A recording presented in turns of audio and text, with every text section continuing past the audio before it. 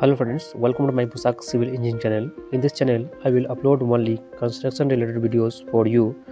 So today I will discuss about difference between WMM and GSB जो कि आपको दिखाई दे होंगे the difference between WMM and GSB.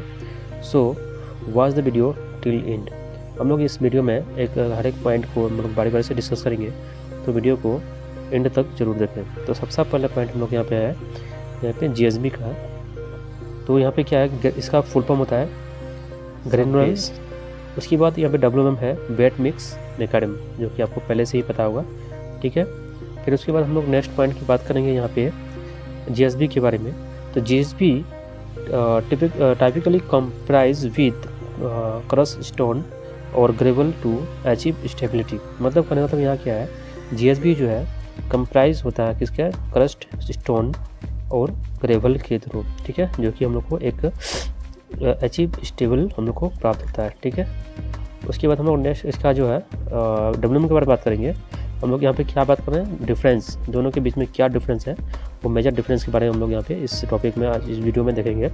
तो W M typically comprise with minerals filler and water creating a semi solid mixture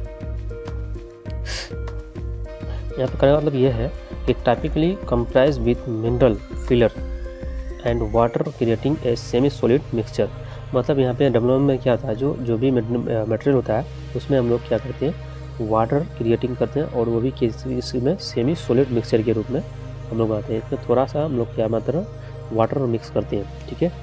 उसके बाद हम लोग नेक्स्ट पॉइंट की बात करेंगे यहाँ पे, इसका नेक्स्ट डिफरेंस तो यहाँ पे होगा, होने वाला है यहाँ पे नेक्स्ट डिफरेंस क्या है? G S B is not mix with water during construction मतलब जी एस बी जब हम लोग बेड में, यानी कि जब हम लोग कंस्ट्रक्शन करते हैं, तब उसमें हम लोग क्या करते हैं? वाटर नहीं मिलाते हैं। Water not mixed with water मतलब हम लोग वाटर को उसमें यूड ये मतलब ऐड नहीं करते हैं। कब जब हम लोग कंस्ट्रक्शन करते हैं, ठीक है? जबकि इसका उल्टा जब क्या है? W M involve the addition of water during the mixing process जब हम लोग क्या करते हैं जब डब्ल्यू का मिक्स बनाते हैं एज पर प्लांट या फिर किसी भी ऑर्डर के थ्रू उसमें हम लोग क्या करते हैं इन्वॉल्व करते हैं क्या? एडिशन ऑफ़ वाटर हम लोग क्या करते हैं उसमें वाटर को ऐड करने का कर, करने करते हैं और मिक्सिंग प्रोसेस में ठीक है? अब उसके बाद हम लोग नेक्स्ट डिफरेंस की बात करेंगे यहाँ पे। नेक्स्ट डिफरेंस है यहाँ पे।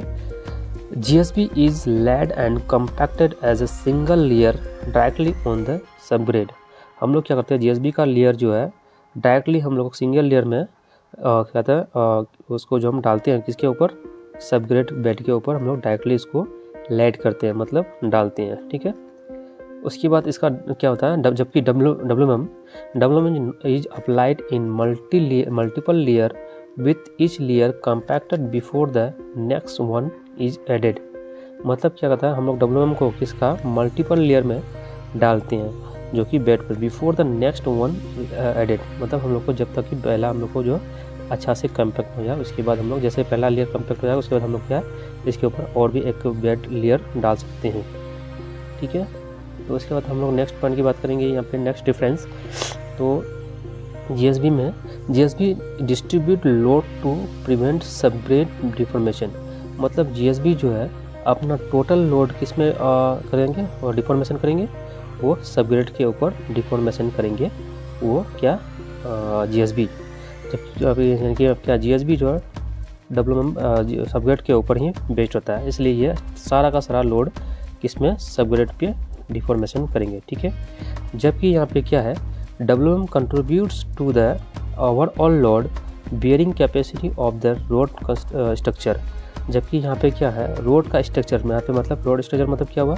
इसमें B C and W M B C and D B M होता है। उसका सारा लोड यानी कि लाइव लोड डेड लोड वो सारा का सारा लोड बियरिंग को बियर करने का कैपेसिटी रखता है कौन? ये डब्ल्यू एम ये क्या है? D S B only for the किस पे डिस्ट्रीब्यूट करता है ये? ये डिफॉर्मेशन करता है सब्जेक्ट के ऊपर, और ये क्या करता है? सारा लोड जो है वो किसके ऊपर सबग्रेड तक लेके जाता है ये डब्ल्यू एम ठीक है? उसका नेक्स्ट डिफरेंस यहाँ पे है दोस्तों। G S B commonly use as a sub base for eligible pavement G S B क्या इसके कॉमनली किसके रूप में यूज़ होता है? वो सब बेस के रूप में होता है। वो भी किसका? फ्लेक्सिबल पेमेंट्स फ्लेक्सिबल पेमेंट्स बोले तो यहाँ पे क्या होना चाहिए दोस्तों? फ्लेक्सिबल पेमेंट का मतलब है यहाँ पे डामर। मतलब इसमें हम लोग विटामिन जैसे भी लाएँगे तो वो फ्लेक्सिबल में आता है, ठीक है? तो हम लोग यहाँ पे क्या G S B commonly use as a sub base और फ्लेक्सिबल पेमेंट जबकि W M W M serve as a base course for road construction मतलब रोड कंस्ट्रक्शन में क्या है? डब्ल्यू एम एक बेस कोर्स के रूप में यूज़ करते हैं। किसको? ये डब्ल्यू एम को। और यहाँ पे ये किसका?